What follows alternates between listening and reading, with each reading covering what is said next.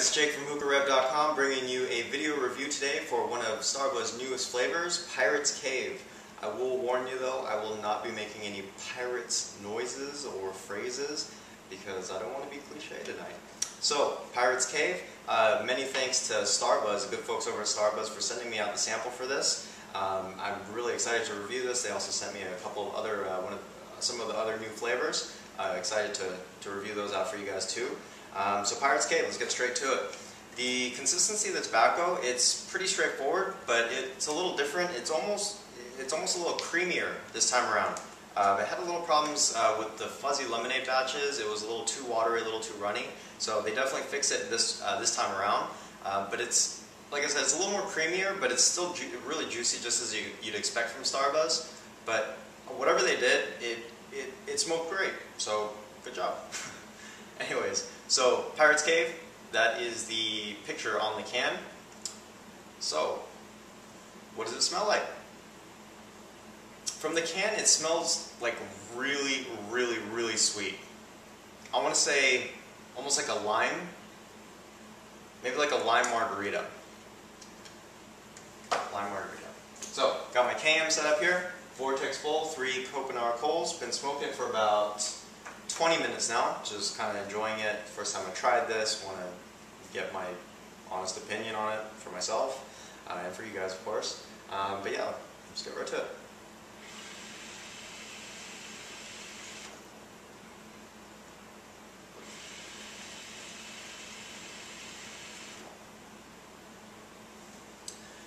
Do we really need to touch on cloud output?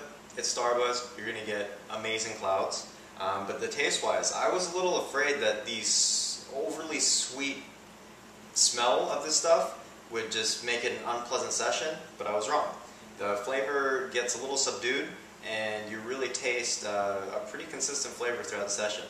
I would have to describe it as, going back to the lime, like a lime margarita, but almost like a dirty lime margarita.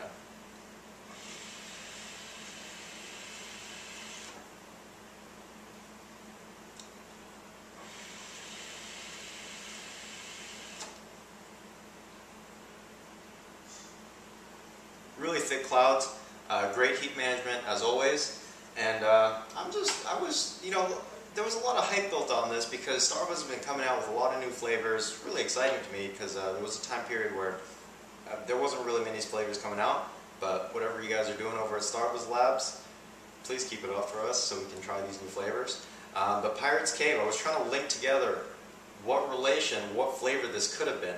Um, what do I think of pirate, I would have thought like rum, maybe some coconuts, uh, but lime margarita. So I guess Pirate's Cave, if we pondered into Jack Sparrow's cave somewhere in the Caribbean uh, and saw him chilling there, maybe sipping on a lime margarita out of a dirty glass. Okay, maybe, but I thought pirates only drank rum, but whatever, it's all good. Um, but yeah, I guess maybe that's the correlation. It definitely tastes uh, very tropical uh, with our summer weather about to come, this would be a great flavor to smoke outside, just, like I said, with maybe like a glass of iced tea, maybe even a glass of margarita or something. But um, it's pretty, uh, pretty enjoyable flavor.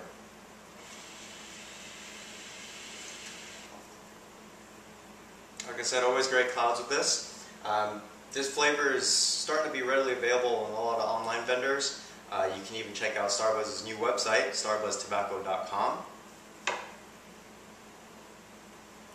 Um, more of the stores, almost every uh, every store that carries Starbuzz should be carrying this uh, fairly soon.